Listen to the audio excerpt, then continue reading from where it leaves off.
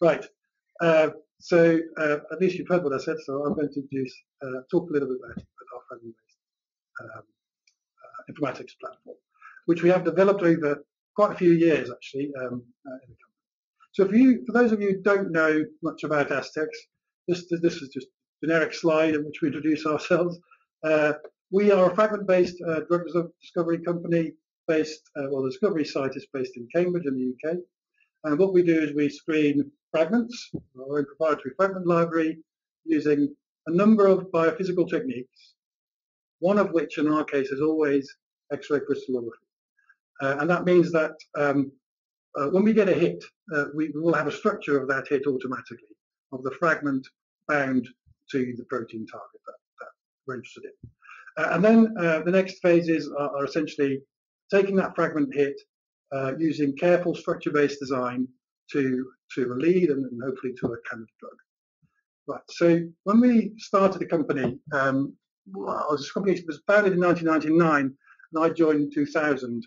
Um, so the, the, informatics platform started around 2001, really, and we were thinking about um, ways in which we should we should come up with this because there was nothing in place. We didn't have a database, we didn't have any software at the time, um, and the vision that we had is that we wanted to democratize the whole process of fragment-based drug discovery. We wanted all different disciplines to be basically involved in the in the process, and that meant that they all had to be able to see each other's data and each other's results. Um, so one of the things we want to do is to make a couple of special specialist areas or areas that are seen to be specialist uh, available across across the board.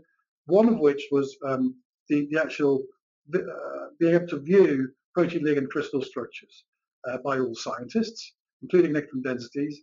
Um, and the other was we wanted to make docking and structure-based design tools available to medicinal chemists. Um, and in addition to that, we wanted basically the whole platform to be as integrated uh, as possible and to create an environment where people could share data, share ideas uh, with each other in, in, an easy way. And certainly at the time, which is about 15 years ago, nothing existed um, that we could buy um, so the decision was made to write most of these tools ourselves, um, or at least interfaces to them. Um, and um, in addition, we, we, decided to, to uh, give access to these tools via web interfaces. That also at the time was, was quite quite new and novel, um, but it was a, it seemed a good idea because people at least were used to using you know web interfaces, Internet Explorer, etc. Uh, so it's a familiar environment. Um, it was relatively simple to, to develop um, uh, interfaces, although that 15 years ago was not as easy as it is now. Uh, and we could let the, the heavy lifting really been done on a server or on, on PC clusters. So if I now display our um, kind of process uh, in a sort of more flattened out way, the more way you are used to looking at it, that looks very similar to um, other uh, pharmaceutical companies in that we first um, identify the target, we do some exploratory biology maybe some biophysics, crystallography. Then we uh, start the fragment screening phase if the first phase was uh, initial, I mean, was successful. And then we go from validation to hits the leads and hopefully at the end we'll get a candidate. Um, now, when we created this database, we had all these different aspects um, uh, of the process feeding into this database, as you would expect. So all this stuff was, was written here um, you know, beginning of the 2000s. Um, and uh, we use that data side by side with public domain data, so for example, the PDB, ChemBol, um, Uniprot, and so on, to kind of uh, inform uh, this, this fragment-based discovery informatics platform that was sitting on top of it. Um, so that had all sorts of tools um, uh, that we that we developed over the years. Uh, and the nice thing was that we we use those tools also to enrich or, or to inform, again, the, the process itself. Uh, so I'm going to give examples of, of, each of these stages of the process um, of, of, how we kind of reuse data to understand and to learn from, um, from, from our own experiences. And the place I'm going to start is the fragment screening uh, phase. So over the years, we've, we've really uh, constantly looked at our fragment library um, and uh, this kind of the longest running pro project at Astex to constantly evolve uh, that library. Um, and we do that by, by looking at the results that uh, our output from, from fragment screens. And one of the things we did relatively early on was to look at the size distribution of the compounds in our library and the size distribution of um, hits, X-ray hits. Um, so in red, you see the size distribution in terms of heavy atoms uh, in the fragments for um, X-ray hits, and in blue, uh, you see the distribution of the heavy atom count for the compounds in our library, the fragments in our library, uh, in this early stage, this early phase. And we can see quite clearly that there is a shift to the left, you know, to lower, smaller size uh, for the validated X-ray hits. So we, you know, the X-ray hits tend to be smaller. And this is completely consistent with um, Mike Hand's sort of complexity argument that as compounds uh, get bigger, um, the probability of them actually matching the receptor goes down and therefore your hit rate goes down. Um, so we from that concluded that we needed to have more small fragments, even smaller fragments that we already had in our library and fewer larger compounds. So in the next sort of phase of our um, fragment library, we, we adjusted that and, and, you can now see that the, for the sixth generation, this is about 2008, we're talking about there's a very good uh, match between the distributions of the hits and the library itself. And that's also true for uh, other physical properties of these, of these fragments.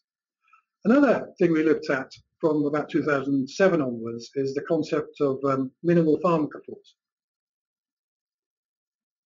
So a minimal pharmacophore is an interaction pattern um, that we believe drives at least to most most of the binding of, of a particular fragment. So in this case, is CDK2. Um, it forms a nice donor acceptor hydrogen bond pair motif um, with the hinge, and um, in, within the molecule itself, that, that is sort of um, done via a, one bond donor acceptor pair. So this minimal pharmacophore we call a one bond donor receptor. And we, we are expecting that minimal pharmacophore to be retained uh, as we develop uh, the compound, as we grow the compound, because we think it's very important planarity or 3D-ness or shapeliness, whatever you might want to call it. Um, there was a whole discussion, uh, certainly a couple of years ago, about the fact that fragments, fragment libraries tend to not be um, shapely enough, tend to not have enough 3D shape. So we also looked at, at our library in, in, uh, in the light of planarity. Um, so we, we defined something called deviation from planarity, DFP, um, and we would have um, defined four bins essentially, ranging from completely flat, bin one, to completely 3D shaped in bin four, um, and bins two and three, somewhere in between. So we did that for all our compounds in our library and also for all the fragment hits that we found. Um, now for this uh, property, you have to actually split the data out according to molecular size because um, you know, as your compound grows, as you get to bigger compounds, they are inherently going to have uh, more 3D-ness to them. And you can see that quite clearly from this graph up here. This is this is the distributions from our library. Um, that the, the smaller fragments have a larger proportion of this blue blue fragments, which are the planar fragments, and a very small fraction of um, 3D fragments, I suppose. so what we can do, we can compare this plot to the uh, same plot, but now for the, the X-ray hits that we observed. And what we need to do is we need to compare the same size molecules uh, in the library with the same size molecules in the, in, the X-ray hits.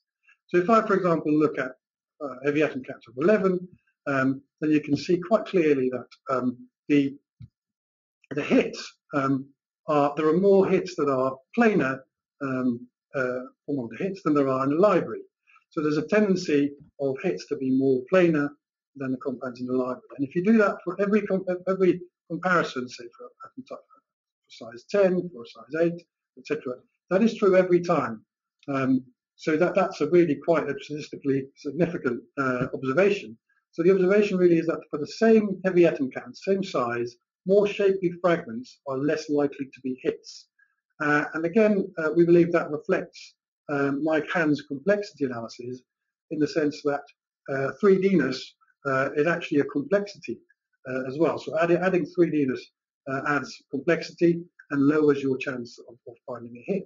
So although 3D fragments are useful, um, we need to keep them small. And, and as a rule of thumb, uh, we, we, think we should maybe be about two atoms smaller uh, for a 3D fragment than for a planar fragment, for it to have a similar sort of chance of, of hitting the target. Um, so to conclude this, this section then on the fragment library, we, we constantly evolve our fragment library and we, we do that by, uh, by looking at the output from the fragment screening campaigns. Um, we've matched the size distribution um, between the library and the hits. Um, we think we've got good coverage of minimal pharmacophores and therefore of chemical scaffolds, um, but we do still annotate um, new, new pharmacophores each year. Um, and um, as I just said, novel 3D fragments are useful, but keep them, keep them small. So that's kind of led to the, the seventh generation library that we, that we are in, that we have at the moment, uh, which contains about, about 1600 compounds and really quite a, they're really quite small, you know, 12 heavy atoms uh, on, average. Right, so I'm going to conclude this section now and, and hand over to uh, Franca to uh, give you another poll uh, question. yes, here I am. So we would like to know from you, how much do you use software for compound ideation? Do you use it all the time or do you still need a good tool for using it every day? Or are you a very old-fashioned bench chemist who always draws on paper? Or do you develop, develop your ideas just in your head? Or do you have people who work for you? so would be kind if you tell us.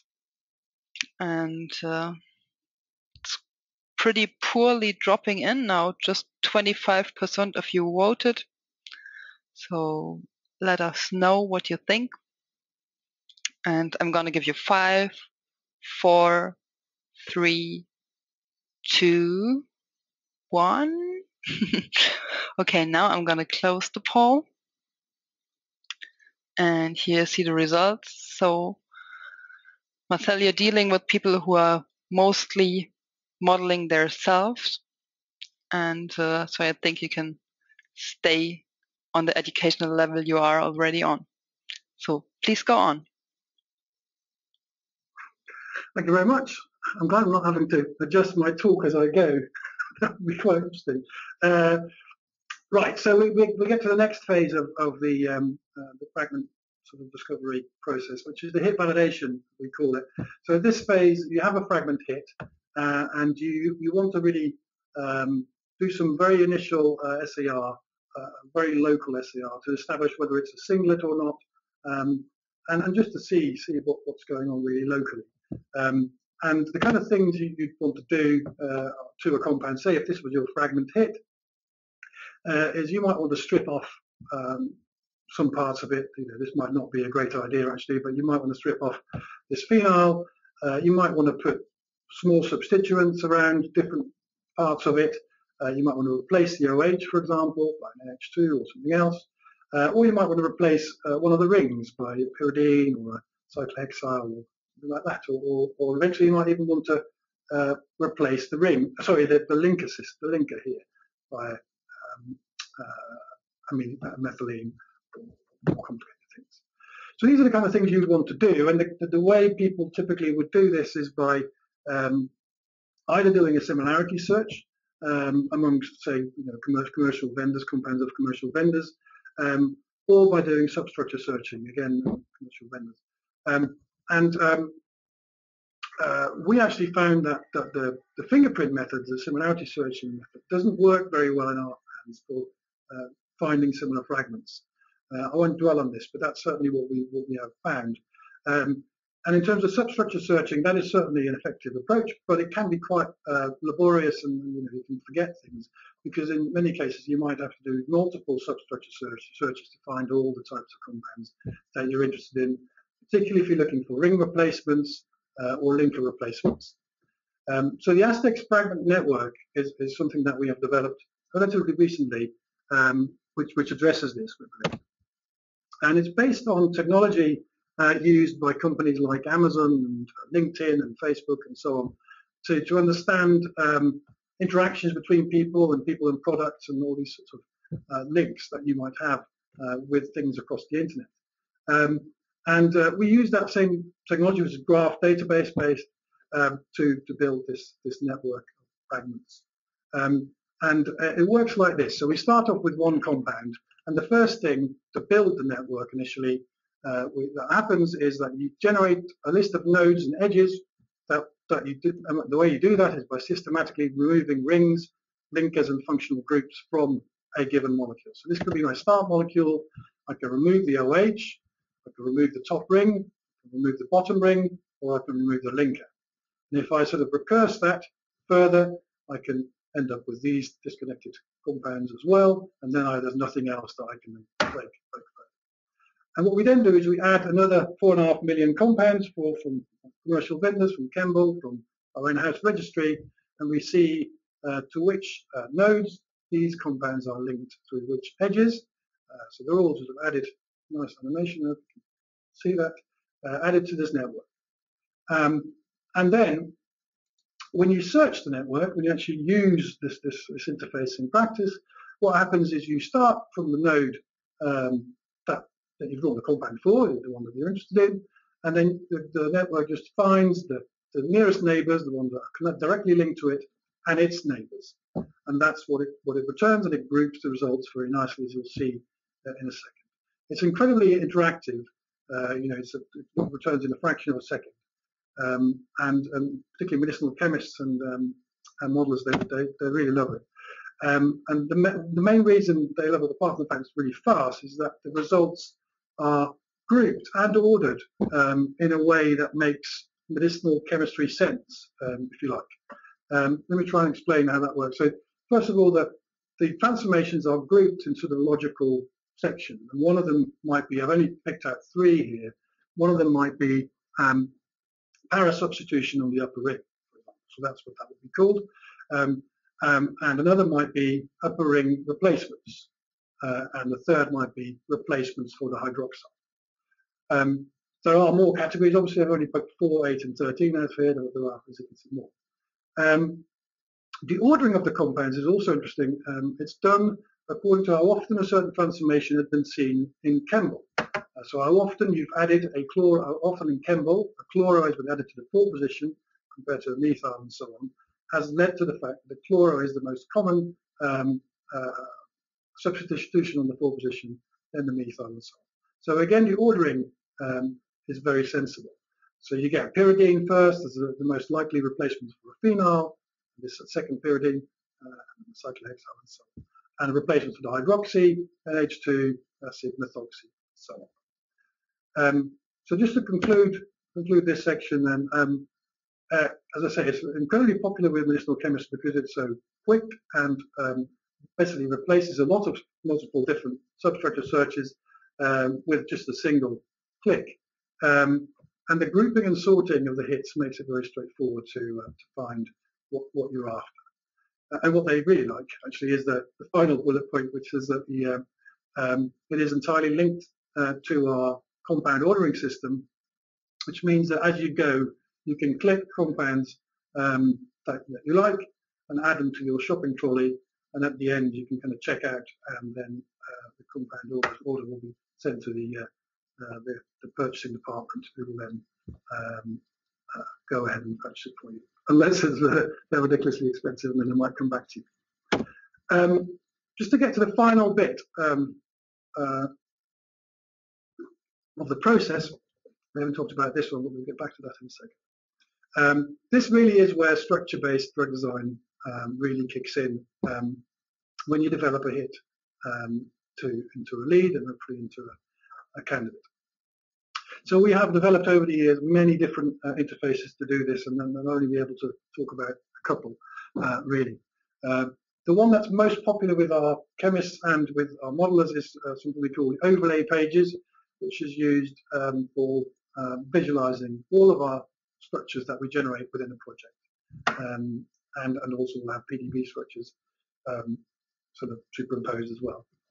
Um, and it's really aimed um, to be very simple, very user-friendly, uh, but at the same time still have a lot of functionality there. So you can see electron density, you can see pockets, identify favorable and less favorable interactions, uh, all with a click of a button. So I'm just going to demo this. Uh, hopefully this will work uh, across the web. Um, Franca might have to interrupt me if, it, if, if, she, if it doesn't one, we'll. No, I see it fine. Um. Uh, so on the left is, is, is, the visualization 3D viewer, and on the right is, is a panel that will contain, um, on an average project, hundreds of structures. Um, in this case, I've only got two different categories, but they will be nicely grouped by chemotype um, and by series and, and so on. Um, and I'll have structures from the PDB, from competitors, and so on in them. Um, so this is an IAP um, structure, and uh, at the beginning of the project, what the what the people would have had to their disposal would be just um, uh, some some competitor structures, and this, this, is actually the structure of the um, the final part of the natural substrate.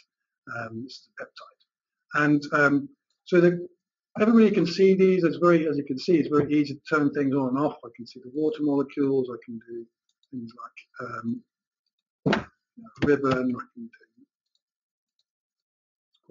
very easily look at the fold, um, or I can zoom back into the binding site, um, and so on.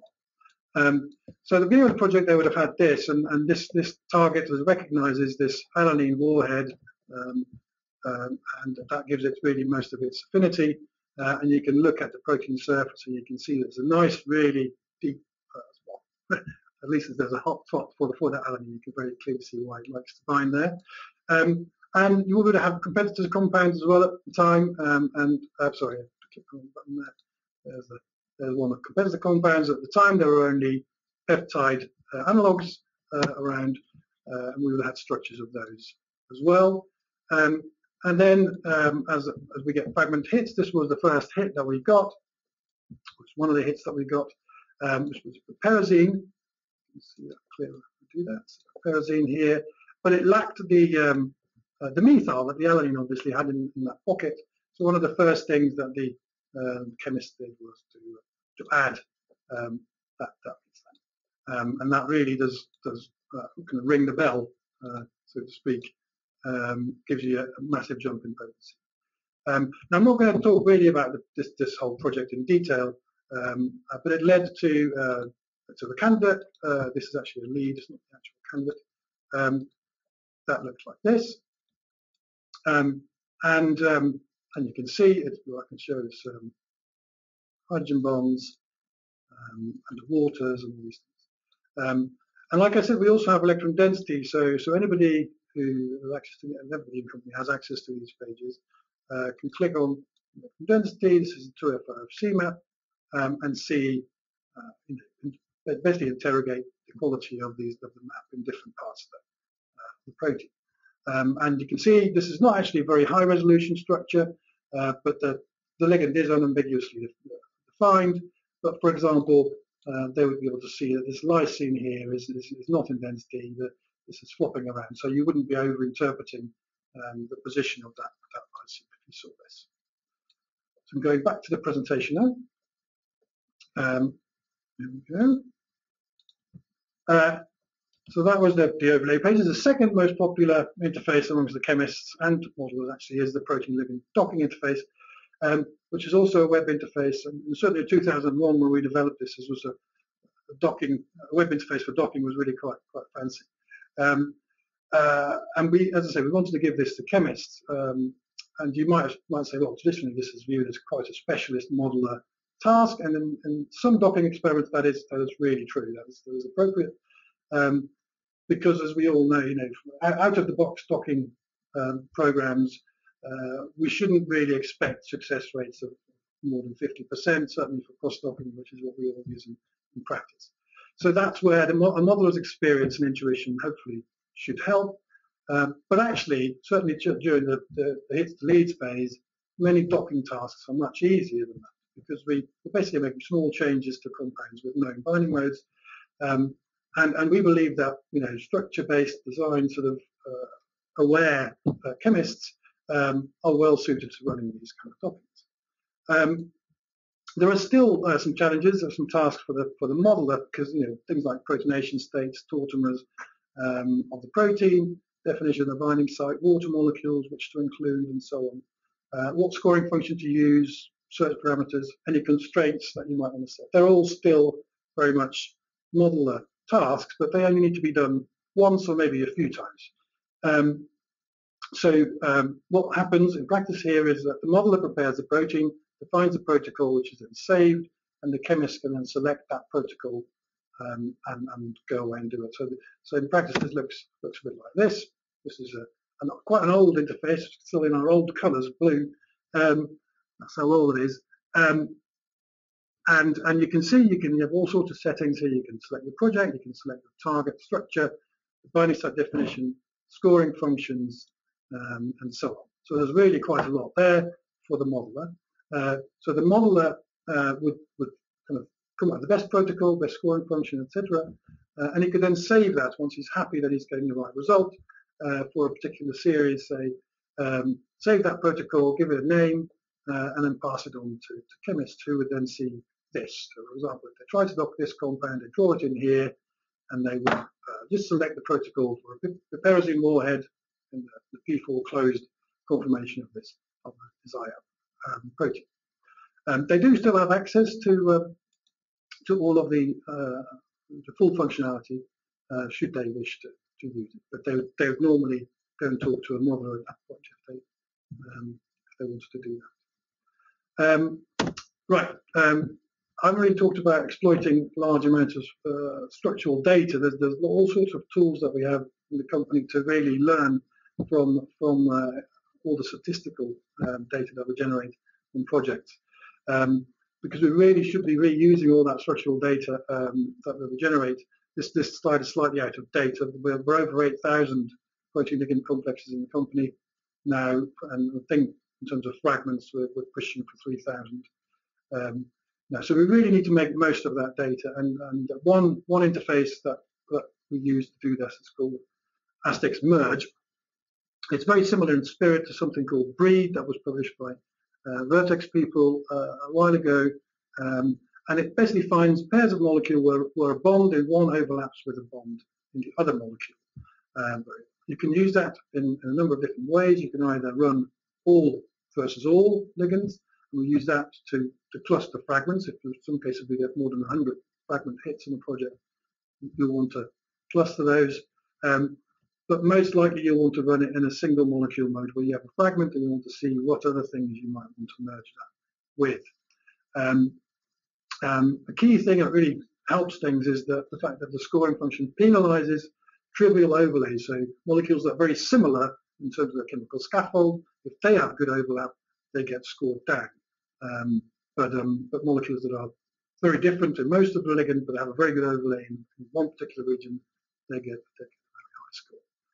Um, so this is just an example where we have used this. This was published This as DDR1, uh, was published a couple of years ago, where we had this fragment found in the back pocket uh, DDR1, and we um, uh, we saw that it had uh, really good over. Well, Astex merge uh, noticed that it had really good overlap with the satinib, or this particular ring of the satinib here.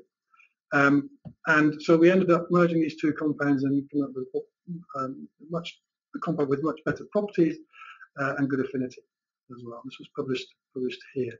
So just to see the actual interface, uh, you can see here's the satinib, you can't see all of it, and here was our fragment hit. So these two compounds were merged uh, into, into one. Um, so conclusions from this phase then. Um, in, in our experience, providing chemists access to structure-based drug discovery tools is really uh, is a really good thing to do. Um, they really it gives them buy-in to the compounds they're designing, um, and yeah, just just, just just a really much better engagement with the project. Um, the project ligand informatics tools um, have led to new series in, in quite a few projects uh, as well, uh, and lots of bespoke tools that I haven't been able to talk to you about really. We have a, a compound design tracker system where a, a, chemist or a modeler can enter design ideas, um, link them to dockings or QM jobs, um, and they can be discussed, shared, etc. Um, we have uh, generated a, a, kind of a electron density fitting algorithm uh, using using docking uh, code uh, to solve um, to place ligands into electron density um, and solve protein structures that way. Um, we've uh, recently published a, a, protein ligand informatics force field, which is um, which was out last year, Uh, we have a, a, simple QM interface for, for generating uh, ESP surfaces, do torsion scans, uh, compound property calculator, fragment software. There's, there's a lot more that we can talk about if you like. Uh, and now it's time for the next poll. Yeah, which fits perfectly in here. We would like to know from you which feature you would value most in a software tool. Is it a multiple protein view to work with, or would you like a visualization of CH acidic H bonds, sigma N holes, and so on? Or would you like to have a covalent docking tool in software? Or is it a 3D, 2D synchronization for the editing process? Or would you appreciate to see a water happiness rating? So you can only make one choice. I know it's hard, but please decide what you would like most to see. And uh, half of you did vote already. So for the other half, please make your choice. And uh, I'm going to close this poll when I see 80% of choices. We're now at 75. So yeah, it's getting closer. I'm going to close it in five, four, three, two, one, and closed now. So the result is quite mixed, I would say. Multiple proteins is the favorite, closely followed by water happiness rating and the 2D 3D synchronization. So thanks for voting. And uh, Marcel, please go on. Thank you very much. Uh, right, you'll be pleased to hear that we're now in the final section of my presentation, uh, which, which is a bit back to front in the sense that we have the, the target idea and exploratory phase at the end. So we even tried to inform that phase uh, with data that we do generate, particularly on the fragment screening and I'll try to show you how we do that. Um, so one thing we did uh, quite a while ago is the, um, something called DigSite, and um, the idea was that we wanted to basically come up with, you know, use all our fragment structures to train some sort of functional model uh, to predict um, uh, fragment binding sites um, in, in, proteins that we hadn't looked at uh, before. Um, and the way we did that is, is by, by developing LigSite essentially a bit further. Uh, we don't know if you know about LigSite, but it has a number of vectors, which are directions you look into uh, until you hit the protein. Uh, we added a few more directions uh, to make it less rotation uh, dependent. Um, but then what we did is um, in each, each direction, um, we looked and we measured the distance from an atom, this is a particular this is a fragment hit, from an atom in the fragment to the protein surface. So, for example, for this uh, this direction here that I was just pointing at, that is quite a short distance, so it would end up in this bin here. That's quite a short, short distance. This is a distance spectrum that we're building up from all these directions. Uh, this other yellow one also goes into this bin. Uh, this green one goes into that bin, etc., etc. So we build up a distance spectra from this atom to the different directions until we hit the protein. And then there's one final direction, which is for all vectors that um, point into uh, areas that are open to solvent, uh, and they, they, they end up in the, the bucket. So we can do this for all Astex protein fragment complexes, uh, and we did. Um, so we generated thousands of these distance spectra from our protein fragment complexes, and then we did, we clustered them. And we looked, and we sort of cut them to, down to a reasonable number of clusters we could we could look at by eye. Uh, and we, then we did some some manual uh, pruning because some of the clusters, uh, you know, that consisted of, of, atoms essentially or environments that were essentially solvent exposed and stuff.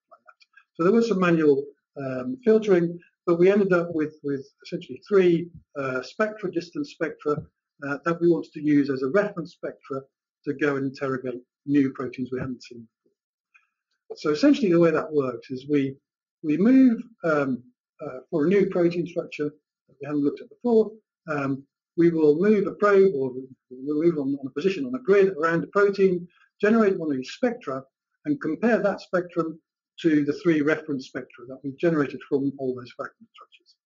Um, and then we calculate basically a similarity, um, which, which we then plot on, on a grid. It's very simple. It basically tells you how similar is this environment to an environment that we've seen fragments bind to. Um, So here are just some examples. of this is a relatively naughty slide. Um, these are example, fragment examples, not, not all of them I would call fragments actually, but they're from the uh, yesterday's diverse set. Um, and if we run LigSight on this, now I appreciate LigSight is certainly not the best um, pocket finding tool uh, around, but this is what we did at the time. Um, and um, what you can see, it does find these pockets, um, but it doesn't really discriminate very well between the key recognition area where the fragment finds and, and the rest of the pocket. Uh, and if we um, now uh, look at DigSight results, you see that that really, really picks out sort of key recognition areas where the fragment does, does bind. Uh, this is this is you know, what we see in general. Um, and we use this quite regularly. Uh, for example, um, uh, when we do solve new structures, uh, we will look in, uh, in areas that are lit up by DigSight uh, more closely to see if we can see additional fragments perhaps bound. Um, another thing that we did was uh, to look across 24 fragment screens to see how often we see fragment, secondary binding sites. So apart from, say, the ATP binding site of a kinase, do we see the fragment bind somewhere else, or outside the protease, active site, or outside the PPI interface, and so on. Uh, and it turned out that actually multiple site binding or secondary site binding was the norm rather than the exception. So in two-thirds uh, of the targets, we actually saw secondary site binding. Uh, that was published by Fred Ludlow. That's on a couple of years ago. Um, but what we're actually asking ourselves is how likely is, is it that these, these sites actually mean something, that they, they, they may have some function. We'll skip over this slide. This is just a few examples from um, uh, the ones that we found, secondary sites that we found.